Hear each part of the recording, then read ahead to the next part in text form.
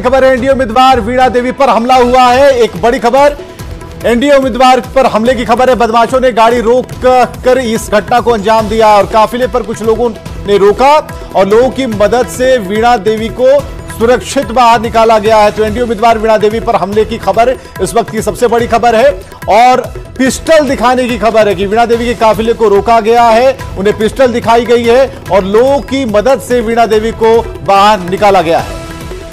तो इस वक्त की बड़ी खबर आपको बता रहे हैं। बदमाशों ने गाड़ी रोककर पिस्टल दिखाई है। वीणा देवी, जो वैशाली से उम्मीदवार हैं, उनका ज़िक्र कर रहे हैं। लोगों की मदद से वीणा देवी को वहाँ से सुरक्षित बाहर निकाल लिया गया है। एनडीए उम्मीदवार वीणा देवी पर हमला हुआ है। बदमाशों ने गाड़ी रोककर उन्हें पिस्टल दिखाई है। इस वक्त की बहुत बड़ी खबर आपको बता रहे हैं। उनके काफिले पर हमला हुआ है। अब से थोड़ी ही देर पहले आपने न्यूज़ 18 पर उनकी तस्वीर देखी थी, जब वो अपने पूरे परिवार के साथ वोट देने पोलिंग बूथ तक पहुँची थी और जब वो वहाँ से वापस लौट रही थी, उसी काफिले को लोगों ने रोकने की कोशिश की।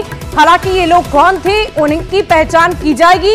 ये पूरा मामला जाँच का विषय। है बिल्कुल, असामाजिक तत्वों ने इस घटना को अंजाम दिया है, लेकिन ये पता लगाने की कोशिश की जा रही है कि आखिर ये लोग कौन थे, क्या किसी पॉलिटिकल पार्टी से संबंध रखते हैं, कौन थे, इसके बारे में पूरी जाँच चल रही है। लेकिन ये एक बड़ी खबर है, एनडीए उम्मीदवार से जुड़ी हुई। बदमाशों ने गाड़ी रोकी पिस्टल दिखाया और ये पूरा काफिला ही था। वीणा देवी के काफिले को ही रोका गया है और कुछ लोग थे जिनकी मदद से उन्हें सुरक्षित वहाँ से रवाना किया गया है। और चलिए तस्वीर आ गई है। ये तस्वीर आप जरा देखिए। वीणा देवी इसी गाड़ी पर सवार थी। उन्हें रोका गया है। आवाज़ जरा सुनिए।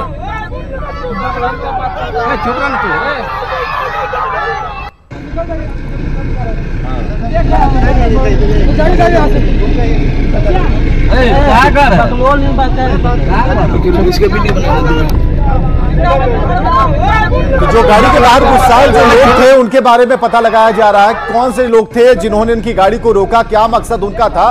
क्योंकि जब वोट के बाद जब वो जा रही थी तो ऐसे में उनकी गाड़ी को रोकना किसने रोकने की कोशिश की? कौन लोग थे? इतनी बड़ी भीड़ यहाँ कैसे जमा हो गई? और विनीता हमारे साथ, हमारे संवाददाता मौजूद हैं। विनीता, क्या खबर है?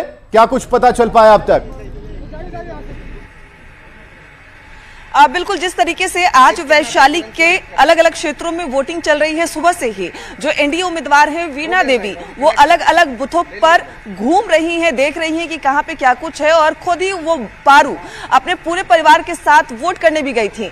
इसी दौरान जब वो वहाँ से निकली तो जो यादव बस्ती है, वहाँ पे उनके काफिले को रोक लिया गया।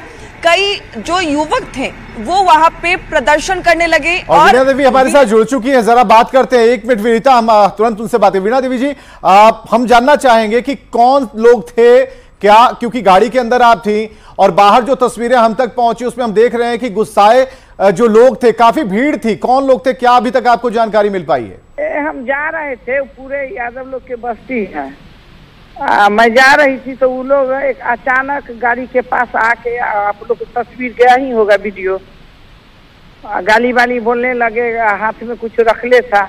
अपने वीडियो बना रहा था हथियार भी रख ले था वीडियो बनाने पर मैं अपने छुपा लिया था। एक दोसर के गमछा में दे दिया लपट के।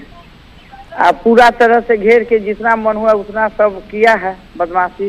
फिर आपके, सा, आपके साथ आपकी गाड़ी में सुरक्षा गार्ड्स तो थे ना उन्होंने बाहर हाँ। लोगों को रोकने की कोशिश नहीं की? नहीं की। तभी तो निकले वहाँ। तो फिर थाना है पारू थाना सब हमको निकाल के ले गया। अब जहाँ पर ये घटना घटी है कौन सी जगह थी? कितना मतदान केंद्र से कितनी दूरी पर चिंतामनपुर चिंतामनपुर गाँव है। हाँ हाँ। कितनी दूरी हाँ। थी मतदान केंद्र से? मतदान केंद्र से मात्र दो लगा दो सौ फीट।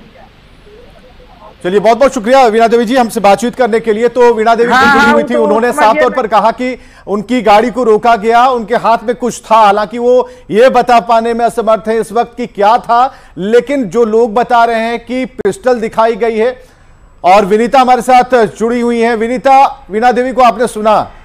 काफ़ी डरी हुई लग रही हैं। उन्होंने कहा कि कौन थे हम पहचान नहीं पाए और सुरक्षा गार्ड जो उनके साथ मौजूद थे उन्होंने उन्हें वहाँ से बाहर निकाला किसी तरह। आ, बिल्कुल और कोशिश भी की गई क्योंकि जिस तरीके से अभी वो बता नहीं पा रही है कि आखिर उनके साथ क्या हथियार था लेकिन स्थानीय लोगों का उनके परिजनों का कहना है कि जिस युवक ने उन पर हमला करने की कोशिश की उसके हाथ में पिस्टल था। और ये जो घटना है यादव टोला बुथ नंबर अट्ठासी की घटना है जहाँ से वो गुजर रही थी क्योंकि उनका पूरा परिवार अलग अलग बुथों के पास जा रहा है देखने की कोशिश कर रहा है और इसी दौरान उनके साथ ये घटना घटी है। उनके सुरक्षा गार्ड भी उसी गाड़ी में मौजूद थे उनके पीए भी उसी गाड़ी में मौजूद थे और विनीता क्या आपको ये जानकारी है कि किस मकसद से उन युवाओं ने वहाँ पर गाड़ी को रोकने की कोशिश की? क्या वो कुछ किसी तरह की डिमांड कर रहे थे? कुछ मांग उनकी तरफ़ से की जा रही थी? क्यों इतने आक्रोशित हैं? क्यों गुस्साए हुए हैं? एक तरीके से मकसद तो पता नहीं चल रहा है, लेकिन एक तरीके से ये विरोध प्रदर्शन है, एक तरीके से वीना देवी का विरोध किया गया है यादव टोला में बूथ नंबर अट्ठासी पर, जहाँ पर वो गुजर रही थी, वहाँ पर उनके साथ इस तरीके से, उन पर एक तरीके से हमला किया गया है। हालाँकि स्थानीय लोगों ने सूझबूझ से काम लिया, स्थानीय लोगों ने जो असामाजिक तत्व थे, जो हमला करने की कोशिश कर रहे थे, उन्हें वहाँ से हटाया और वीना देवी को सकुशल वहाँ से आगे निकाला गया। मकसद नहीं पता चल पाया है कि आखिर क्यों जो उम्मीदवार है एनडीए की, वीणा देवी, उनके साथ ऐसा क्यों किया गया? क्यों हमला करने की कोशिश की गई? क्यों पिस्टल दिखाया गया? क्यों मुर्दाबाद के नारे लगाए गए?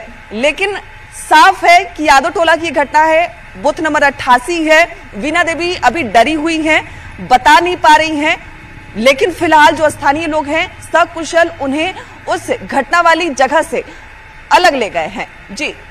बहुत बहुत शुक्रिया विनीता हमसे बातचीत करने के लिए। तो इस वक्त विनीता मिश्रा, जो कि हमारी संवाददाता है, उन्होंने साफ़ तौर पर कहा कि अभी वो डहरी हुई है, लेकिन अभी आगे इसकी जाँच जारी होगी। और जहाँ पर यह घटना घटी है, जहाँ पर यह घटना घटी है, वहाँ पूरी तरीके से यह पता लगाने की कोशिश की जाएगी कि जो